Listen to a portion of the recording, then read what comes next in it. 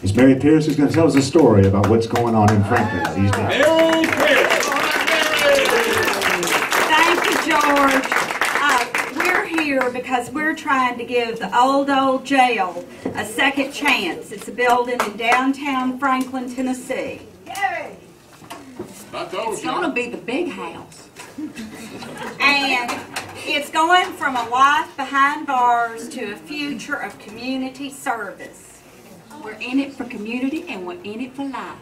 And we want to give you a little history lesson about the old, old jail.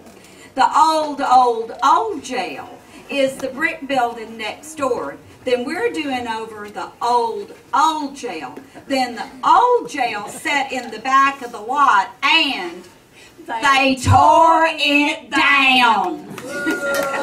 So, we need your support in trying to save this building. Thank you so much. Mary.